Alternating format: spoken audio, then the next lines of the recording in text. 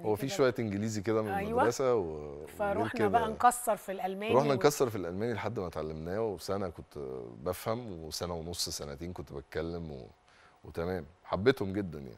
أكتر نادي انبسطت حسيت فيه إن أنت you belong أو إن أنت جزء منه إيه في الت... أنت لعبت شتوتجارت لعبت بعد كده بلجيكا. آه في جانت آه، البلجيكي وبعدين ريزا سبور التركي. آه. ده كان آخر نادي لعبته. آه ولعبت في الأهلي شوية. وفي الأهلي آه، طبعا. آه. أكتر نادي بقى عموما حسيت إنك مستريح بت... أحمد صلاح حسني كلاعب هو الأفضل اداء أنت كنت مهاجم. نخرج الأهلي بره القصة؟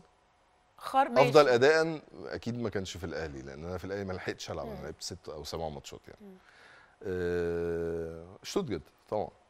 شتوتجارت لأن أنا رحت لهم آه، صغير. اتربيت على إيديهم يعني. علموك؟ اتعلمت. علموك إيه؟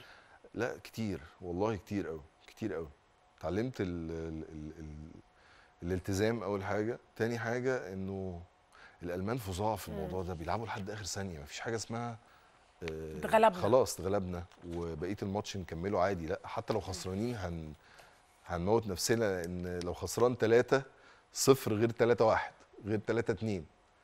عندهم كرامة وعزة نفس في الموضوع ده جامدة جدا. وبعدين هم يمكن على مدار السنين كلها ده بيثبت إن الدوري الألماني أو الفرق الألمانية بيلعبوا لحد آخر ثانية. أي فرقة في العالم بتلاعب ألمان بتخاف. آه الجون في ألمانيا أو بره مصر أحلى؟ الجون الجون اللي أنت تهدفه. الهدف.